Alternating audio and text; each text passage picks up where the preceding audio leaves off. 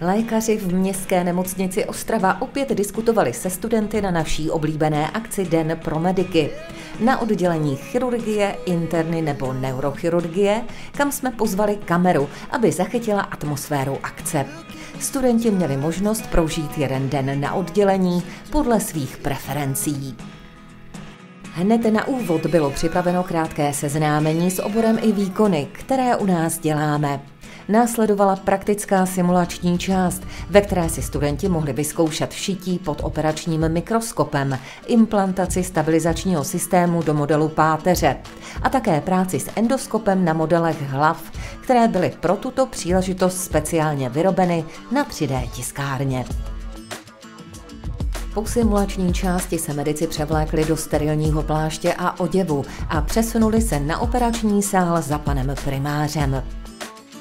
Přes monitor mikroskopu medici přihlíželi operaci a měli stejný pohled jako operatér.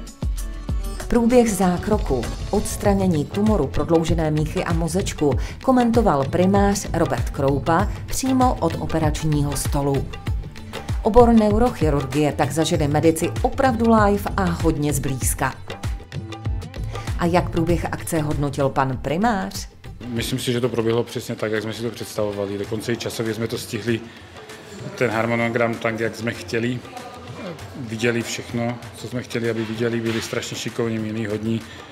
Eh, potěšilo nás, že jsou to lidi, kteří chtějí dělat neurochirurgii i do budoucna.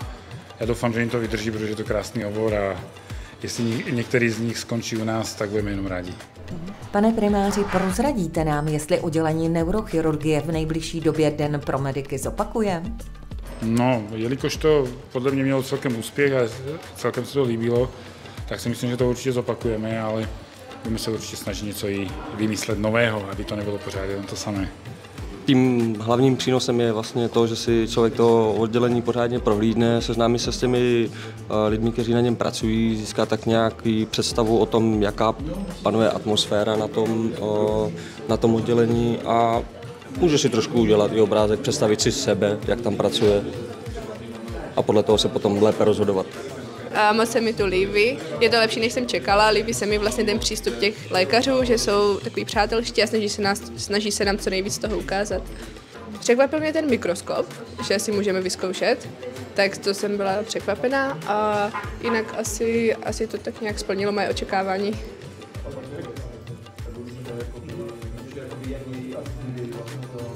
Mne sa to veľmi páči, hlavne to, že môžeme vyskúšať tie praktické veci. Uh, bolo to perfektné. My sme v podstate zažili niečo, čo sme ešte, ja, ja osobne som to teraz nezažil. Možnosť šiť pod mikroskopom, to bolo skvelé.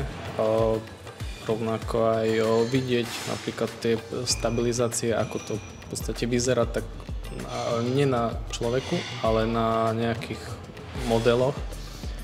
Potom možnosť byť pri operácii, to bolo tiež zaujímavé. No tak podľa mňa bol dnešný deň veľmi príjemný. Celkovo sa mi páčilo hlavne to, že tento deň bol zameraný na tie praktické zručnosti, nielen na nejakú prehliadku oddelenia alebo čo.